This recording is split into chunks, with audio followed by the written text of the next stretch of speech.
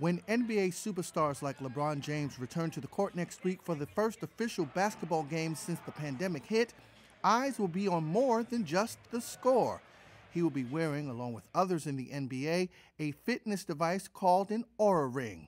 The ring, produced by Oura Health, is designed to track someone's heart rate and temperature and is just one of many fitness devices now being tested to see how good they are at sounding an early warning signal about COVID 19 before symptoms appear.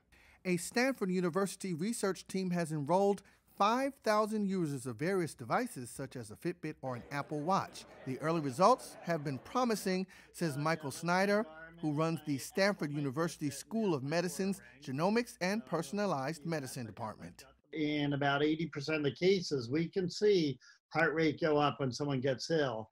And what's powerful is that in at least 70% of the cases, it goes up before at the time they're symptomatic, meaning that we can see this heart rate go up before they realize they're ill.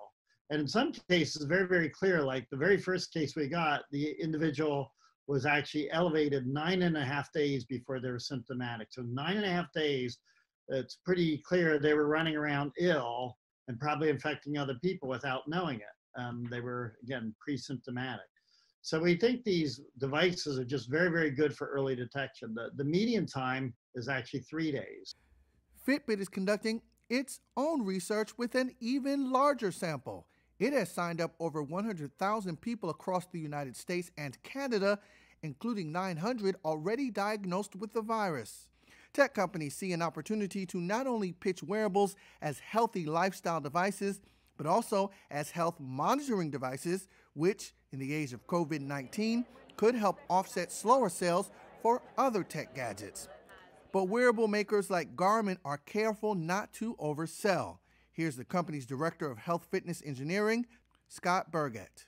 First thing I want to make clear is that you know the Garmin watch is it, it's not a medical device. It's not an FDA cleared medical device. It's a consumer device, but it has really powerful biometric sensing capabilities. And what I'll, I'll give an example. So, like your heart rate, we measure your heart rate by using an optical sensor that's on the bottom of the watch. Our battery life is so good is that we can go for several days and measure your heart rate 24 7. And by doing that, we're able to tell a lot about your well being. But how will consumers feel knowing there's something tracking their bodies 24 7?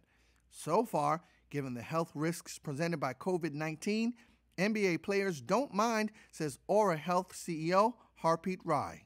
The feedback we've gotten has been uh, really appreciative and, and letting players and staff know how they're doing through data.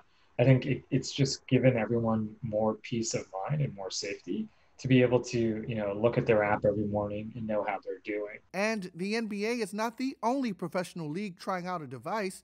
Professional golfers are sporting a wristband called the Whoop. Company founder Will Ahmed. Well, Whoop has partnered with the PGA Tour to distribute Whoop to every player, caddy, media member, and they're using the technology to measure everything about their bodies, but especially respiratory rate, which we've found is a very important statistic for understanding COVID 19. And that gives Whoop access to 1,000 test subjects eager to keep a deadly virus from spreading further and possibly derail already delayed sporting events.